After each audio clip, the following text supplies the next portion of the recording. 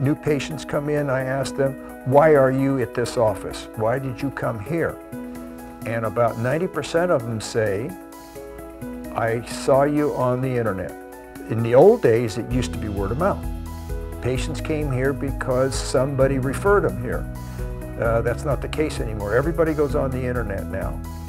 And I figured, well, I better increase my presence. And it needs to change from information to inspire people to get on the telephone call and come in.